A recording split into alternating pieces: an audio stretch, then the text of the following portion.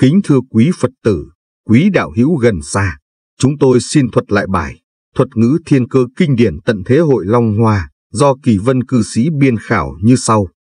Có nhiều thuật ngữ thiên cơ tận thế hội Long Hoa. Thuật ngữ giáp, chữ giáp có nghĩa là giáp vòng, giáp mặt, giáp chiến, giáp trận đánh nhau chí tử chết bỏ. Năm giáp thìn nghĩa là năm rồng 2024, giáp vòng khắp cả vùng Trung Đông.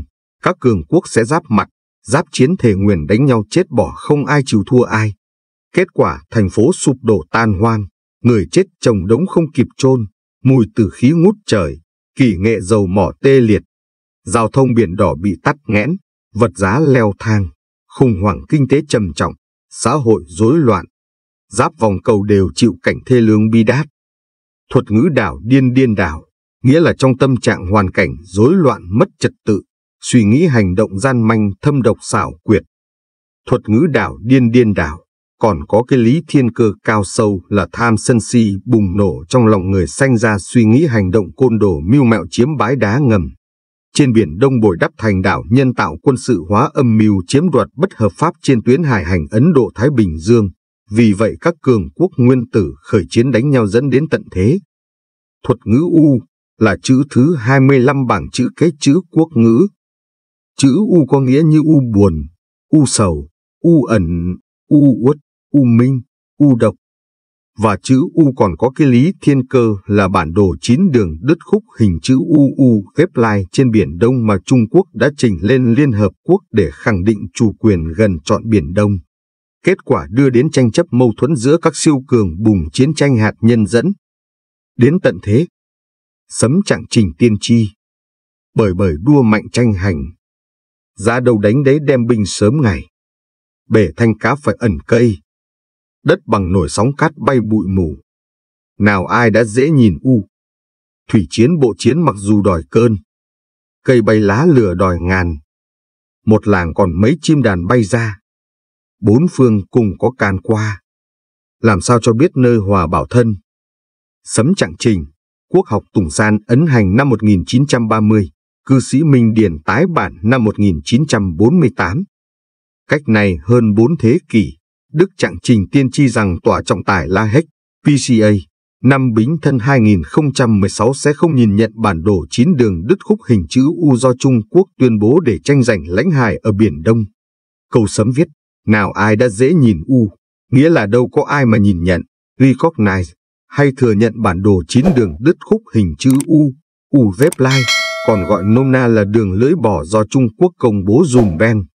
Kết quả đưa đến Thế chiến ba, câu sấm viết, bốn phương cùng có can qua. Theo lời sấm trạng trình, cuộc tranh giành lãnh hải trên Biển Đông biến thành Thế chiến ba là điều chắc chắn không thể nào tránh khỏi. Năm 2009, Trung Quốc hấp tấp công bố bản đồ chín đường đứt khúc hình chữ U, vép lai tức đường lưỡi bò, tham vọng chiếm gần như toàn bộ Biển Đông, bất chấp luật quốc tế, lấn lướt các nước nhỏ trong vùng, gây xáo trộn an ninh Biển Đông, làm cản trở con đường hàng hải huyết mạch thế giới. Hiện nay Mỹ, Nhật, Ấn và Úc, nhóm quát, nhập cuộc phá mưu lược bản đồ hình chữ U, U vép lai, đường lưỡi bò, của giặc tàu, trận chiến Biển Đông chắc sẽ bùng nổ, đưa đến thế chiến ba. Sấm trạng trình viết, nào ai đã dễ nhìn u. Thủy chiến bộ chiến mặc dù đòi cơn.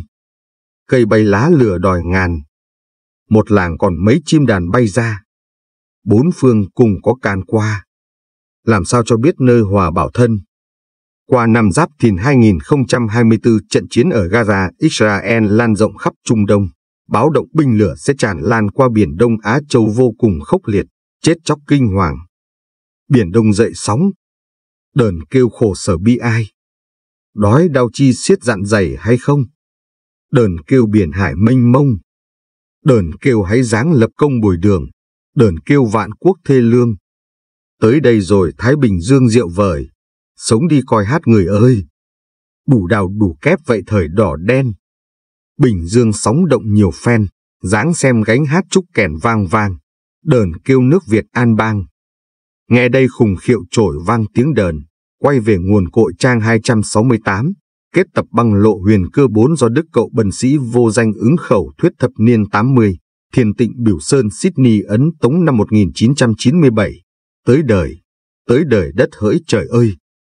Đông Tây Nam Bắc ôi thôi tưng bừng, giặc giã lớn chưa từng ngó thấy, chúng dùng nhiều khí giới kinh thiên, làm cho đất động trời nghiêng.